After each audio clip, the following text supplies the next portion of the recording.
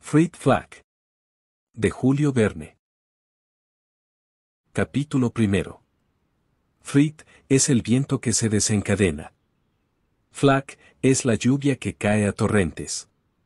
La mugiente ráfaga encorva los árboles de la costa bolsiniana y va a estrellarse contra el flanco de las montañas de Crimma. Las altas rocas del litoral están incesantemente roídas por las olas del vasto mar del megalocride. Fritz. Flack. En el fondo del puerto se oculta el pueblecillo de Luctro. Algunos centenares de casas, con verdes miradores que apenas las defienden contra los fuertes vientos. Cuatro o cinco calles empinadas, más barrancos que vías, empedradas con guijarros, manchadas por las escorias que proyectan los conos volcánicos del fondo. Al otro lado de la villa se amontonan algunas ruinas de la época crimeriana. Tras un arrabal de aspecto árabe, una alcazaba de blancas paredes, techos redondos y azoteas devoradas por el sol. Es un cúmulo de piedras arrojadas al azar, un verdadero montón de dados cuyos puntos hubieran sido borrados por la pátina del tiempo. Entre todos ellos se destaca el 6-4, nombre dado a una construcción extraña, de techo cuadrado, con seis ventanas en una cara y cuatro en la otra. Un campanario domina la villa, el campanario cuadrado de Santa Filfilene, con campanas suspendidas del grosor de los muros, que el huracán hace resonar algunas veces. Mala señal. Cuando esto sucede, los habitantes tiemblan. Esto es Luctro. Unas cuantas moradas, miserables chozas esparcidas en la campiña, en medio de retamas y brezos, como en Bretaña. Pero no estamos en Bretaña. ¿Estamos en Francia? No lo sé. ¿En Europa? Lo ignoro. De todos modos, no busque Luctrop en el mapa, ni siquiera en el Atlas de Stieler. Capítulo segundo. Frog. Un discreto golpe resuena en la estrecha puerta del 6-4, abierta en el ángulo izquierdo de la calle Mesagliere. Es una casa de las más confortables, si esa palabra tiene algún sentido en Luctrop una de las más ricas, si el ganar un año por otro algunos miles de fretzers constituye alguna riqueza. Al golpe ha respondido uno de esos ladridos salvajes en los que hay algo de aullido y que recuerdan el ladrido del lobo. Luego se abre, por encima de la puerta del 6-4, una ventana de guillotina. Al diablo los inoportunos. Dijo una voz malhumorada. Una jovencita, tiritando bajo la lluvia, envuelta en una mala capa, pregunta si el doctor Trifulgas está en casa. ¿Está o no está, según? Vengo porque mi padre se está muriendo. ¿Dónde se muere? En Valcarnew, a cuatro kertzes de aquí, contestó la jovencita. Y se llama. Bort Cartiff. Dijo la joven. Bort Cartiff, el hornero. Entre sollozos responde. Sí, y si el doctor Trifulgas pudiera. El doctor Trifulgas no está. Y la ventana se cerró brutalmente, mientras que los fritz del viento y los flags de la lluvia se confundían en un alboroto ensordecedor. Capítulo tercero. Un hombre duro, este doctor Trifulgas. Poco compasivo, no curaba si no era a cambio y eso por adelantado. Su viejo Ursov, una mezcla de bulldog y faldero, tiene más corazón que él. La casa del 6-4 inhospitalaria para los pobres no se abre más que para los ricos. Además, hay una tarifa, tanto por una tifoidea, tanto por una congestión, tanto por una pericarditis, tanto por cualquiera de las otras enfermedades que los médicos inventan por docenas. Sin embargo, el hornero von Cartiff era un hombre pobre, de una familia miserable. ¿Por qué tiene que molestarse en una noche como aquella al doctor Trifulgas? Solo el haberme hecho levantar vale ya diez fretzers, murmuró al acostarse de nuevo. Apenas habían transcurrido veinte minutos cuando la aldaba volvió a golpear la puerta del 6-4. El doctor abandonó gruñendo su caliente lecho y se asomó a la ventana. ¿Quién va? Gritó. Soy la mujer de Von Cartiff. ¿El hornero de Valcarnew? Gruñó el doctor. Sí. Y si usted se niega a venir, morirá. Pues bien, se quedará viuda. Aquí traigo 20 fretzers. 20 fretzers por ir hasta Valcarnew, que está a cuatro kertzes de aquí. Por caridad. Suplicó la mujer. Vaya al diablo. Y la ventana se cerró. 20 fretzers. Bonito hallazgo. Arriesgarse a un catarro o a unas agujetas por 20 fretzers, sobre todo cuando mañana le esperan en Quiltreno, en casa del rico Etzingov, el gotoso, cuya gota le representa 50 fretzers por cada visita. Pensando en esta agradable perspectiva, el doctor Trifulgas volvió a dormirse más profundamente que antes. Capítulo 4. Frit. Flack. Y luego, Frog, Frog. Frog. A la ráfaga se le han unido esta vez tres aldabonazos, aplicados por una mano más decidida. El doctor dormía. Finalmente se despertó, pero ¿de qué humor? Al abrir la ventana, el huracán penetró como un saco de metralla. Es por el hornero, dijo la voz de una anciana. ¿Aún ese miserable? Soy su madre. Que la madre, la mujer y la hija revienten con él. Ha sufrido un ataque, dijo la mujer. Pues que se defienda. Nos han enviado algún dinero, señaló la vieja. Un adelanto sobre la venta de la casa de Don Trupp, la de la calle Mesagliere. Si usted no acude, mi nieta no tendrá padre, mi hija no tendrá esposo y yo no tendré hijo. Era a la vez conmovedora y terrible oír la voz de aquella anciana, al pensar que el viento helaba la sangre en sus venas y que la lluvia calaba sus huesos. Un ataque cuesta 200 fretzers. Respondió el desalmado Trifulgas. Solo tenemos 120. Buenas noches. Y la ventana volvió a cerrarse. Pero, mirándolo bien, 120 fretzers por hora y media de camino, más media hora de visita, hacen 60 fretzers a la hora, un fretzer por minuto. Poco beneficio, pero tampoco para desdeñar. En vez de volverse a acostar, el doctor se envolvió en su vestido de lana, se introdujo en sus grandes botas impermeables, se cubrió con su grueso abrigo, y con su gorro de piel en la cabeza y sus manoplas en las manos, dejó encendida la lámpara cerca de su codex, abierto en la página 197, y empujando la puerta del 6-4 se detuvo en el umbral. La vieja aún seguía allí, apoyada en su bastón, descarnada por sus 80 años de miseria. Los 120 fretzers. Aquí están, y que Dios se los devuelva centuplicados. Dijo la anciana dándole el dinero. Dios. ¿El dinero de Dios, hay alguien acaso que haya visto de qué colores? El doctor silbó a Ursof y, colocándole una linterna en la boca, emprendió el camino hacia el mar. La vieja le siguió. Capítulo V. ¿Qué tiempo de Fritz y de Flax? Las campanas de Saint Felfolin se han puesto en movimiento a impulsos de la borrasca. Mala señal. Va. El doctor Trifulgas no es supersticioso. No cree en nada, ni siquiera en su ciencia, excepto en lo que le produce.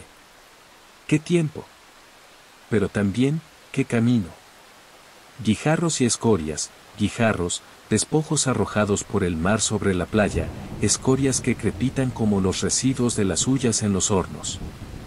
Ninguna otra luz más que la vaga y vacilante de la linterna del perro Urso. A veces la erupción en llamas del Banglor, en medio de las cuales parecen retorcerse extravagantes siluetas. No se sabe qué hay en el fondo de esos insondables cráteres. Tal vez las almas del mundo subterráneo que se volatilizan al salir.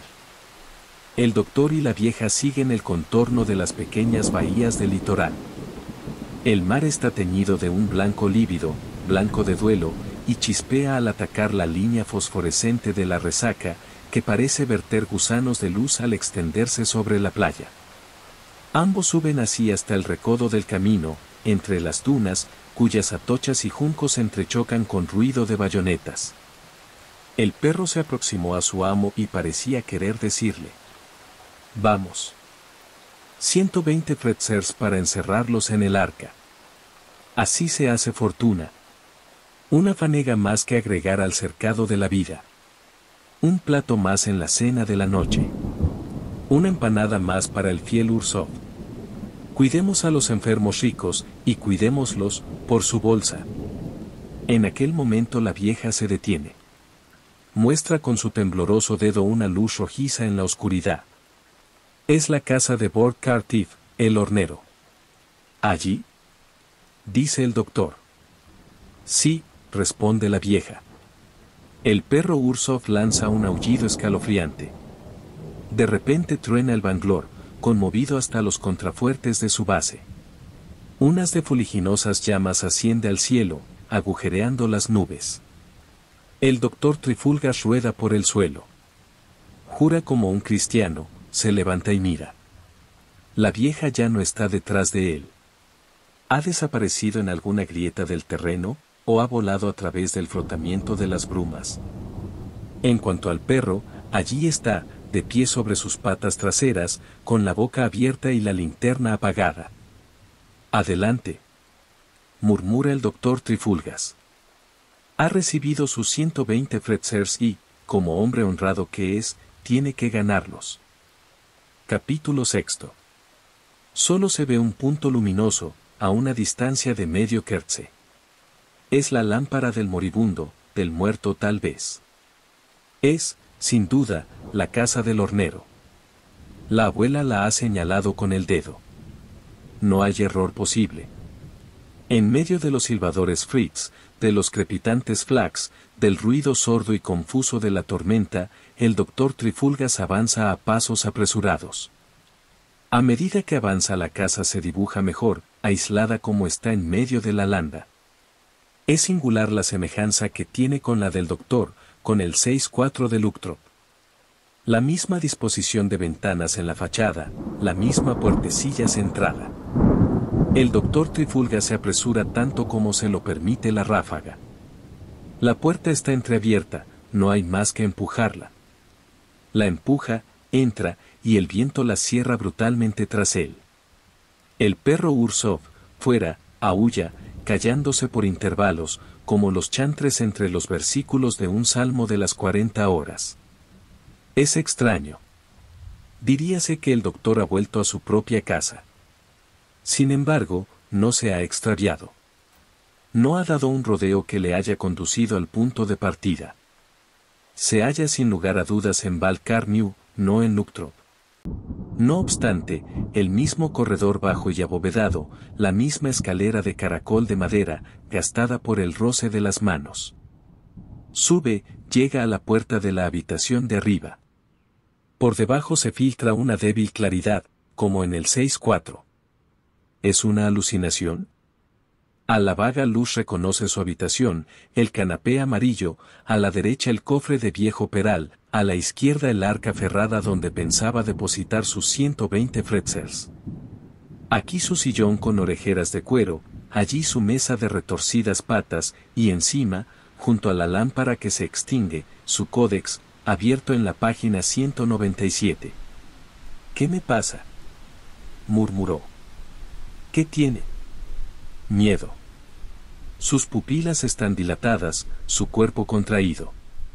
Un sudor helado enfría su piel, sobre la cual siente correr rápidas horripilaciones. Pero apresúrate. Falta aceite, la lámpara va a extinguirse, el moribundo también. Sí. Allí está el lecho, su lecho de columnas, con su pabellón tan largo como ancho, cerrado por cortinas con dibujos de grandes ramajes. ¿Es posible que aquella sea la cama de un miserable hornero? Con mano temblorosa, el doctor Trifulgas agarra las cortinas. Las abre. Mira. El moribundo, con la cabeza fuera de las ropas, permanece inmóvil, como a punto de dar su último suspiro. El doctor se inclina sobre él. Qué grito escapa de su garganta, al cual responde, desde fuera, el siniestro aullido de su perro. El moribundo no es el hornero Bort Cartiff. Es el doctor Trifulgas. Es el mismo, atacado de congestión, el mismo. Una apoplejía cerebral, con brusca acumulación de serosidades en las cavidades del cerebro, con parálisis del cuerpo en el lado opuesto a aquel en que se encuentra la lesión. Sí. Es el quien ha venido a buscarle, por quien han pagado 120 fretzers. Él, que por dureza de corazón se negaba a asistir al hornero pobre. Él, el que va a morir. El doctor Trifulgas está como loco se siente perdido. Las consecuencias crecen de minuto en minuto. No solo todas las funciones de relación se están suprimiendo en él, sino que de un momento a otro van a cesar los movimientos del corazón y de la respiración. Y, a pesar de todo, aún no ha perdido por completo el conocimiento de sí mismo. ¿Qué hacer? ¿Disminuir la masa de la sangre mediante una emisión sanguínea? El doctor Trifulgas es hombre muerto si vacila. Por aquel tiempo aún se sangraba y, como al presente, los médicos curaban de la apoplejía a todos aquellos que no debían morir. El doctor Trifulgas agarra su bolsa, saca la lanceta y pincha la vena del brazo de su doble, la sangre no acude a su brazo. Le da enérgicas fricciones en el pecho, el juego del suyo se detiene. Le abraza los pies con piedras candentes, los suyos se hielan. Entonces su doble se incorpora, se agita, lanza un estertor supremo. Y el doctor Trifulgas, pese a todo cuanto pudo inspirarle la ciencia, se muere entre sus manos. Frit. Flack. Capítulo séptimo. A la mañana siguiente, no se encontró más que un cadáver en la casa del 6-4, el del doctor Trifulgas. Lo colocaron en un féretro, y fue conducido con gran pompa al cementerio de Luktrop, junto a tantos otros a quienes él había enviado según la fórmula. En cuanto al viejo Ursov, se dice que, desde aquel día, recorre sin cesar la landa, con la linterna encendida en la boca, aullando como un perro perdido. Yo no sé si es así, pero pasan cosas tan raras en el país de Bolsinia, precisamente en los alrededores de Luktrop. Por otra parte, se los repito, no busquen esta villa en el mapa. Los mejores geógrafos aún no han podido ponerse de acuerdo sobre su situación en latitud, ni siquiera en longitud. Fin. Gracias por ver este video. Por favor, no olvides suscribirte, darle a me gusta, compartirlo y dejar un comentario. Si te ha gustado este relato, puedes encontrar más en nuestro canal, Homo Lector.